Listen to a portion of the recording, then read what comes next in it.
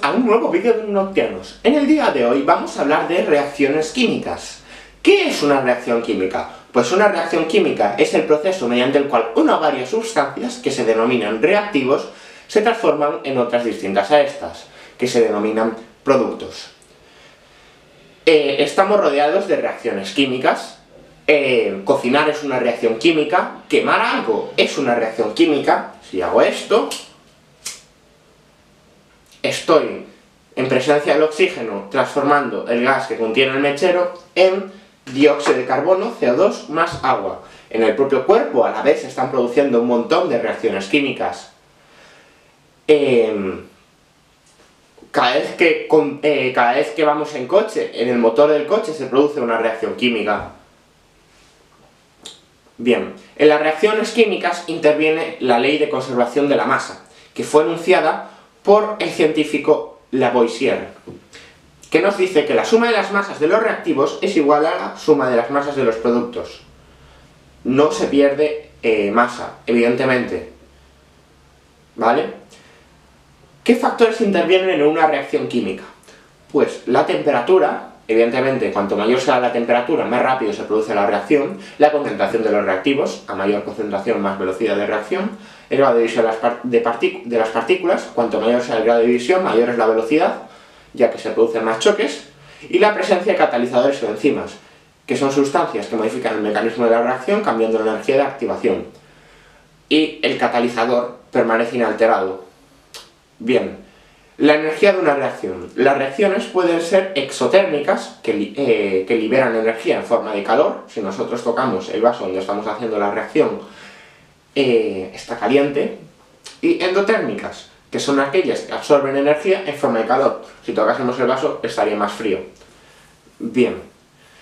¿Qué vamos a hacer en el día de hoy? Vamos a em, explicar los factores que intervienen en las reacciones químicas y la energía con dos reacciones químicas que podemos hacer en nuestra casa. Una de ellas es la archiconocida reacción química del vinagre con el bicarbonato, que ya hice en, su día, pero la voy a repetir porque, ya, eh, ya os digo, se puede hacer con materiales muy sencillos que podemos encontrar en nuestra casa, no es peligroso, no es peligrosa y no hay ningún tipo de problema. Y la otra es eh, la descomposición del oxígeno del agua oxigenada usando un catalizador, que sería eh, la enzima eh, catalasa de la patata. de la patata, la catalasa de la patata. Eh, bueno, vamos allá. ¿Qué materiales necesitamos? Necesitamos vinagre, disolución de ácido acético al 5%, hidrógeno carbonato de sodio o bicarbonato de sodio, peróxido de hidrógeno o agua oxigenada, varios vasos para llevar a cabo las reacciones químicas, una cápsula para pesar o un recipiente para poder pesar, una vela, un termómetro, una cuchara, un cuchillo, cerillas o mechero para encender. Y un cronómetro.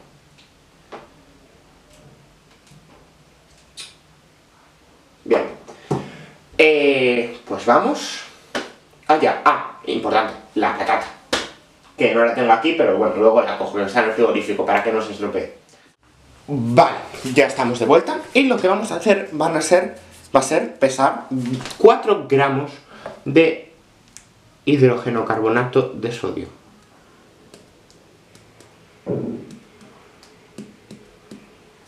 Bien, 4 gramos los echamos en el fondo de un vaso grande de precipitados, ponerla aquí.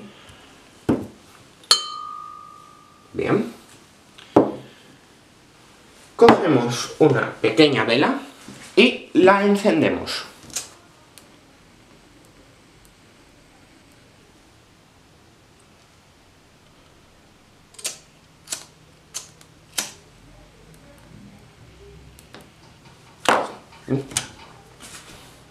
La ayuda a un adulto para encender la vela, como digo siempre, y la colocamos en el fondo del vaso de precipitados. Bien, lo que vamos a hacer es verter el vinagre en el vaso de precipitados. Con mucho cuidado de no echarlo encima de la vela y como vemos se produce la reacción y la vela se acaba, apaga debido al desprendimiento de CO2. En el vaso queda una nueva sustancia denominada acetato de sodio, que si queréis en algún experimento podemos usar. Y también quedaría agua. Bien, pues ya está. Esto ha sido todo en el primer experimento. Vamos con el siguiente. Vale. Ahora, lo que vamos a hacer es volver a pesar 4 gramos de hidrógeno carbonato de sodio o bicarbonato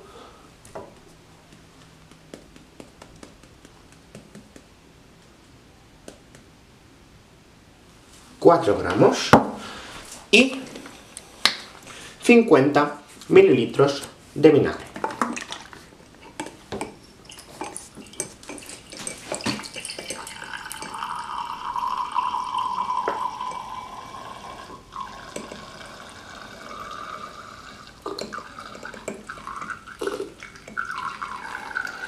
Y más o menos 50 mililitros de vinagre cogemos un vaso de precipitados grande y echamos el vinagre. Vale. Para este experimento es importante usar el cronómetro, porque ¿qué vamos a hacer? Medir el tiempo de efervescencia. Así que... Cronómetro, cero, y echamos. Aparta todo lo electrónico porque puede salir, bueno, este que es más grande. Es que en el ensayo del vídeo lo hice con el vaso de precipitados de 250 mililitros y se me salió y casi la lío. Bueno, en el caso anterior, como he podido comprobar y como podréis comprobar vosotros, si lo hacéis, el tiempo de efervescencia es de 3 minutos 20 segundos. Vamos a probar qué pasaría si repetimos el experimento diluyendo el bicarbonato, los 4 gramos de bicarbonato, en 50 mililitros de agua. Vamos a llenar un vaso de precipitados con 50 mililitros de agua.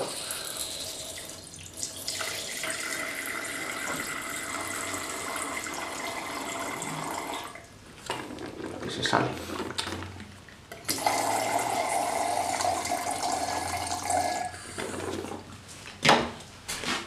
De acuerdo. Vamos a volver a pesar los 4 gramos.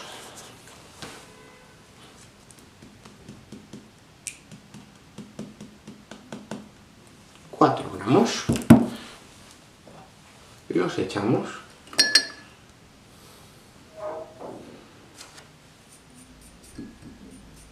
Y con ayuda de una cuchara o de una varilla de vidrio, que es lo que se usa en los laboratorios, pues realizamos la disolución.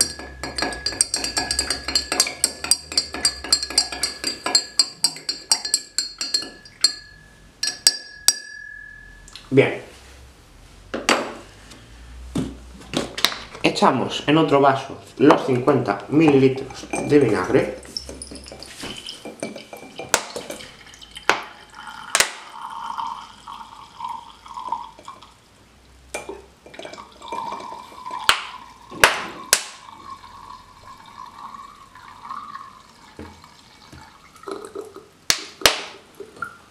y 50 mililitros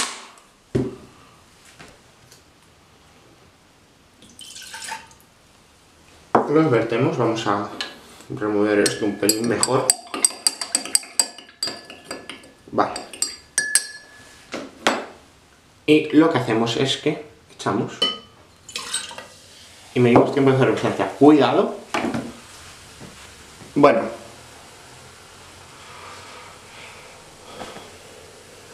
Casi la lío. Casi. Pero no. Bien, ya he medido el tiempo y me ha salido de 1 minuto 30 segundos. El tiempo anterior es de 3 minutos 20 segundos. ¿Qué conclusión nos deja esto?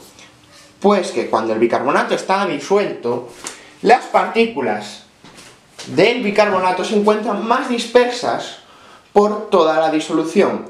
¿Eso qué permite? Pues que se produzcan más choques y por lo tanto la reacción se produzca más rápido. Perdón, iba a cerrar la puerta que estaban llamando al teléfono y como que no quiero que salga en el vídeo. Vale, bien. En el siguiente experimento vamos a medir la temperatura de reacción de 6 gramos de bicarbonato en 50 mililitros de vinagre. Bien, pesamos los 6 gramos. Si enciendo la báscula primero, yo creo que es mejor.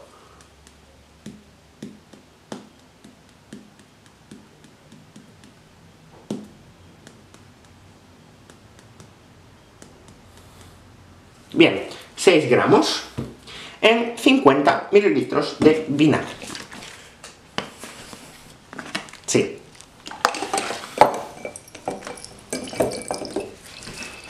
A ver, las cantidades dan igual. Eh, es mejor hacerlo eh, con mayor concentración, o sea, con mayor concentración de reactivos, ya que pues así el efecto se nota mejor. Bien, y 50 mililitros.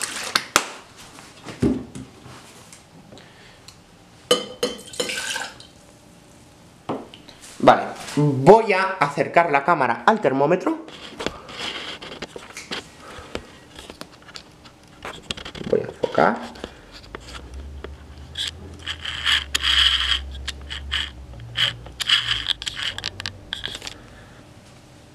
Y vamos a ver, a ver qué pasa.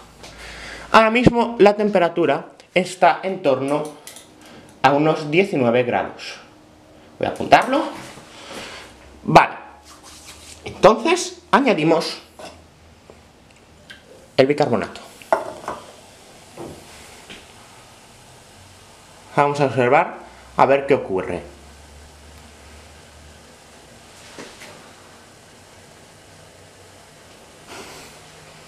Bueno, la temperatura está bajando poco a poco. ¿Mm? Ahora de estar en torno a unos 16 grados. Y sigue bajando.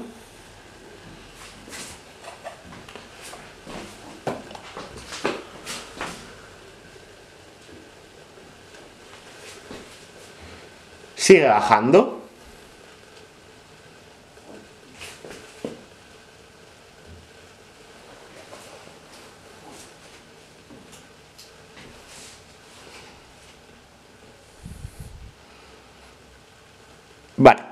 Vale, que se ha estabilizado. Bien, pues como consecuencia de esto, sabemos que es una reacción endotérmica, es decir, que absorbe calor. No lo vamos a notar, pero esto está más frío que cuando echamos el vinagre. Bien, vamos a apuntarlo. T, eh, T sub 2 12 grados. La temperatura ha bajado 7 grados. Bien, a continuación vamos a realizar el experimento del agua oxigenada. Para ello, cogemos un vaso de precipitados pequeño y le echamos un poquito de agua oxigenada. No nos tenemos por qué pasar. Yo le voy a echar 20 mililitros, suficiente. y cortamos un trocito de patata, tal que así. Bien, le añadimos una gotita de jabón líquido, el que se usa para las manos. Agitamos. Segundo.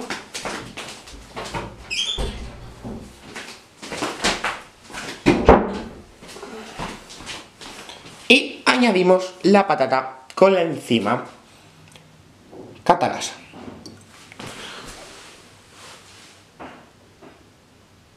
Bien, voy a coger la cámara y voy a enfocar. Si puedo.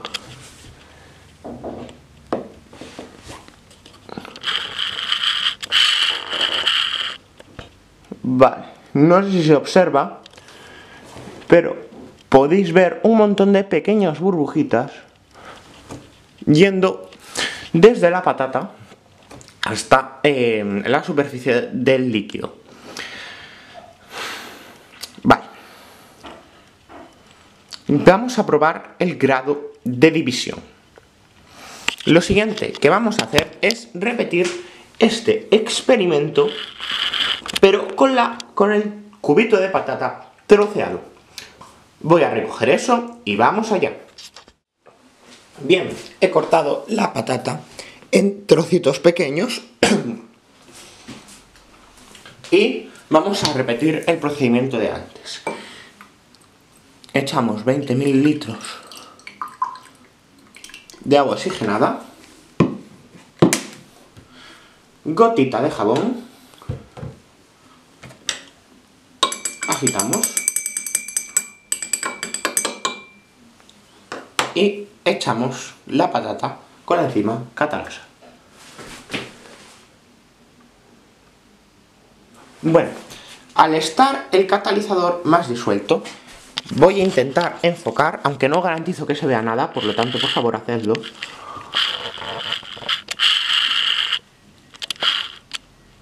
Pues digamos que se produce.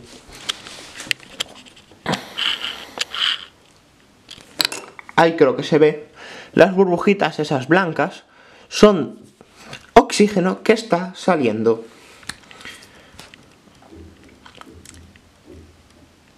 Y nada. Creo que en esta se ve, no sé si en la anterior se veía, pero en esta se ve. Bien, vamos a repetir este experimento disolviendo el agua oxigenada, que el agua oxigenada no es agua oxigenada pura, no es peróxido de hidrógeno puro, está al 10%, pone 10 volúmenes, pues eso significa que de cada 100 volúmenes de agua, 10 son de H2O2. Pues nada, pues la vamos a disolver en agua y vamos a reducir esa concentración de H2O2. Bueno, bien, he partido la patata en un trozo mucho más pequeño y ahora en vez de añadir 20 mililitros vamos a añadir 10, o sea, la mitad. Vale, más o menos hasta ahí. Y el resto va a ser agua. Si lo queréis preguntar, en eh, mis experimentos suelo usar agua destilada. Excepto en de la electrolisis, que en ese sí que hay que usar eh, agua de normal, del grifo, de una botella, porque contiene electrolitos que son necesarios para realizarla. Bien, vamos a echar la patata. Ay, bueno, se me ha olvidado echar el jabón, voy a echarlo.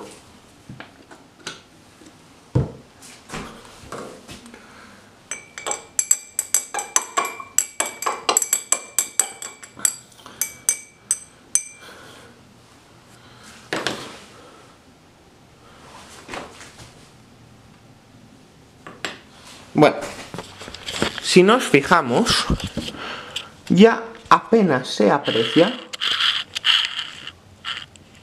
O sea, si os fijáis bien, sí. Pero ya apenas se aprecia. Vemos por encima que hay unas pequeñas burbujas, pero nada más. A mayor concentración de reactivos, mayor velocidad de reacción. ¿De acuerdo? Bueno, pues esto ha sido todo en el vídeo de hoy. Espero que os haya gustado mucho y ya sabéis, nos vemos en el siguiente vídeo. Adiós.